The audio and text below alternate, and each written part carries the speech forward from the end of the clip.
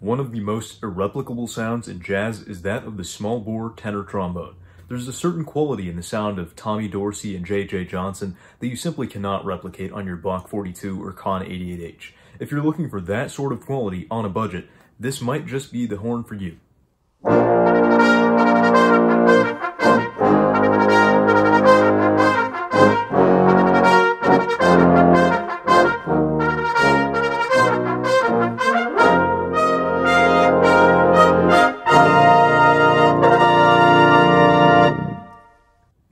Everybody, this is your host Sam here coming at you with another installment of Scholastic Brass Month on the Samuel Plays Brass channel. To any new hats in the audience, welcome aboard, hope you'll stick around. And to all the old hats, welcome back. Stay tuned to learn more about the Jupiter JTB 700 student model trombone.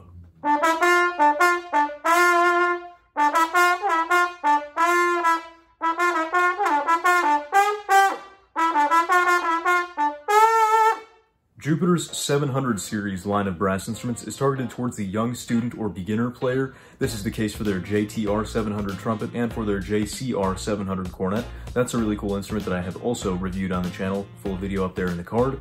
In any case, the JTB 700 trombone follows suit in exactly this fashion. It's an instrument designed for students.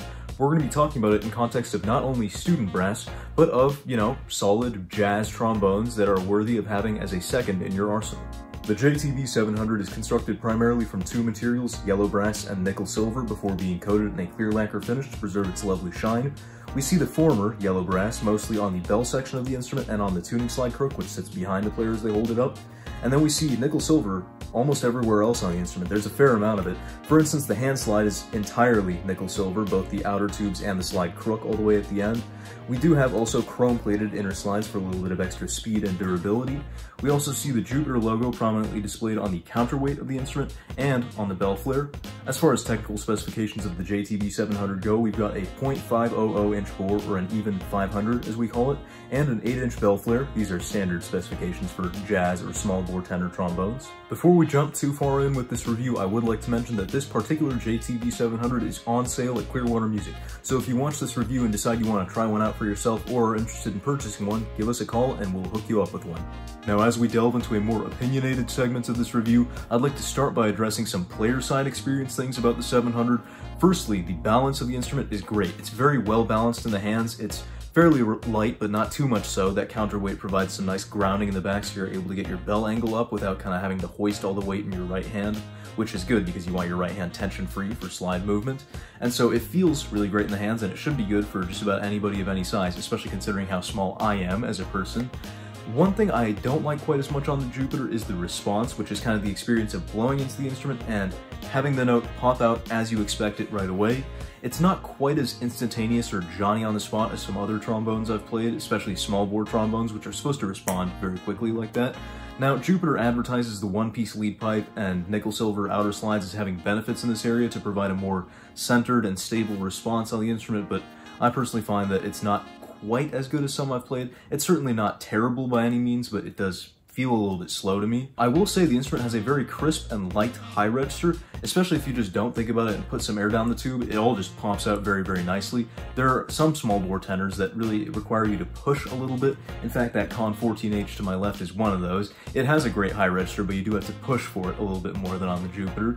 And while I enjoy squeezing the high notes out. It's not always sustainable in the long run, especially for multiple hour recording sessions with a lot of stratospheric playing. You really do want something like the Jupiter with a very light touch up there. But with that said, that's balanced out by the middle and low registers being a little bit tough to play clearly on, and you'll hear that in the following demo.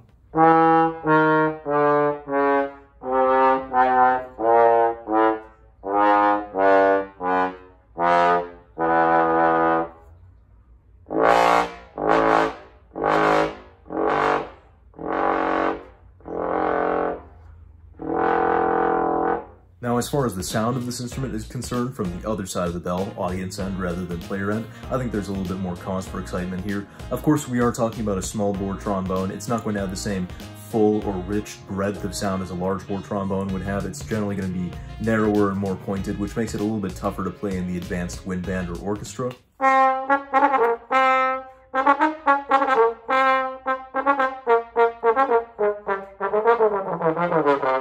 Of course, the natural sound of this instrument is predisposed to be very, very bright. If you step on the gas, it can absolutely peel paint off the wall. I mean, when I recorded that Radiohead excerpt at the beginning of the video, it, I felt like I was gonna knock my own hearing out. That's how loud and bright and piercing the sound is, truly. But the most exciting part was for me was when I tried to back off a little bit and play some more ballad-like stuff, I was really amazed. The trombone all of a sudden had a lot more nuance and subtlety, kind of a breathiness in the sound, a tasteful one, not too airy. Kind of like the human voice at a whisper, and this trombone plays at a whisper. The dynamic range on this trombone is massive from, you know, the Radiohead lick to what you're about to hear now.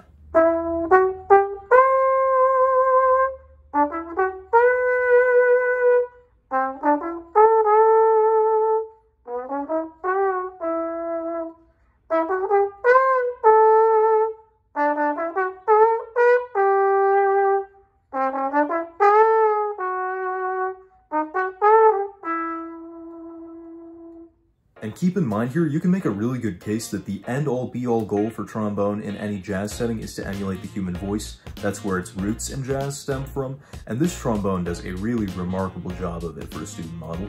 And so what we get with the JTB 700 is an instrument that sure is designed for beginner players to get them through their first several years no matter where they stick the instrument, but works fairly well for the more intermediate or advanced level players in several different settings, whether that's playing in a jazz band, especially on lead or solo trombone, or using it as a secondary horn for pep band or marching band, or even on the more unorthodox side of things, playing trombone in a rock or metal group. The trombonist in those sorts of settings generally needs to peel paint off the back wall, which as we mentioned, this trombone does well. But as we also mentioned, this trombone does plenty more. It's got a very versatile sound, especially in the upper register, but throughout the whole range if you can learn to control it. In any case, once you get a good handle on it, this is a very fun and free-blowing and easy to play small bore jazz tenor compared to many I've tried in the past that do feel stuffy or a little bit weird to play.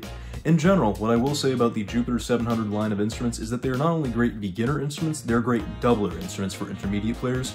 For instance, for a fairly strong trumpet player looking to get into cornet playing and brass band playing a little bit, that JCR 700 cornet does really well. And on a similar note, the JTB 700 trombone is a great gateway into small bore playing for whether you're a large bore tenor, tenor trombone player, or a bass trombonist, or even a baritone or euphonium player. For any of these people, if you need a little bit more authenticity in your jazz sound and style, this is a great option. I've had my reservations about this trombone. I've tried it a couple times and had sort of mixed experiences, but I think I do have to give this one the Sam seal of approval because it really is a lot of fun to play. Maybe we'll make the seal a little bit smaller this time. I don't know, there's not really a rigid science to this. In any case, I've enjoyed my time with this trombone and I hope you've enjoyed my time with it, I suppose. On the off chance that you did enjoy or learned a thing or two in the process about this instrument, consider leaving a like and a comment down below, and consider subscribing to the channel if you find that you are not subscribed, like a lot, a lot a lot of my viewers are not. It would mean a lot, it's a small gesture with a huge impact on the channel, and it's the best way to stay up to date with these sorts of reviews, and believe me, with Scholastic Brass Month still going, we've got plenty coming up. As far as current and older reviews go, you can check out the playlist in the top right corner in the card.